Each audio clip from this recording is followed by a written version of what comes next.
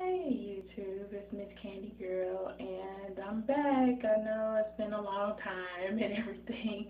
I've had a lot of stuff going on in life, so um, everybody that asked or um, shouted me out or whatever on the video, I appreciate it. and um, but yeah, I wanted to do this quick video and hopefully this will work because I'm doing it from my phone, but. Do this quick video for this style that I did on my hair.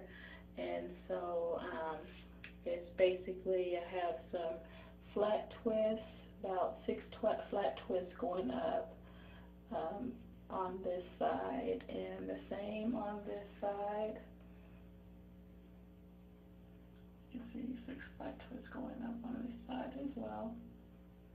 And um, Oh, that's cute. Make it a little bit funky. Okay, and so and then um, what I did with the rest of my hair, with the rest of my locks, is that I just did some cornrows and I did like a cornrow braid out on the rest of it.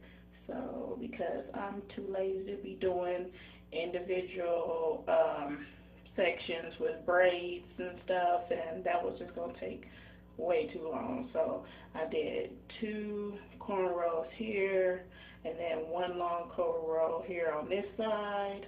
And then I did um, on this side, same thing, two small cornrows and then one long cornrow going from the top of where my flat twists um, start and going down the back, down the middle side. Uh, total of six cornrows going out in the back, and then I had three cornrows going to the side here for my bang. And then I just uh, took them loose and I have this crinkly braid out effect. And so, and I like it. It's cute. I took some pictures. Um, you could also, if you wanted to, you could do a little, you know, a little pompadour is what I call it.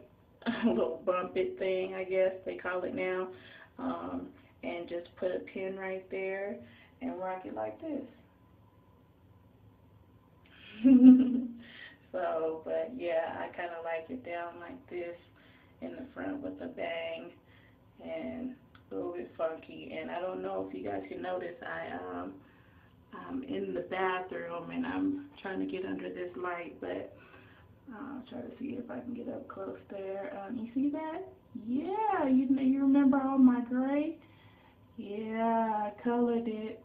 I went on and colored my locks. Yes, I did. It's actually the second time that I've colored my locks. And um, I'll do a video about the color that I use. I didn't use anything permanent because I don't want to put any permanent chemical on my hair. I just used semi-permanent hair color.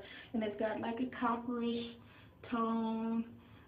Um, it's a little lighter here. Um, and so it's like a copper blondish tone. Uh, so that highlights the gray um, to make it not look so gray, but copper goldish, I guess. And so um, I like it. I just actually did it yesterday, uh, redid it yesterday, and so and I hadn't done it for almost eight weeks. I did it eight weeks ago before, and then it was finally just wearing out or whatever, so I just redid it. But anyway, this video, I don't want it to be too long. I just wanted to showcase my hairstyle. And I am nine and a half months, not, not here, not here, but here, okay? nine and a half months sister lot. And, so um, I'm excited. I'm coming up on my 10th month, and I, I know I haven't done an update in a while. So um, I am going to do an update video and let you guys know some different changes and everything that I've done with my locks and my hair and gone through with my locks and my hair other than just the hair color and the style.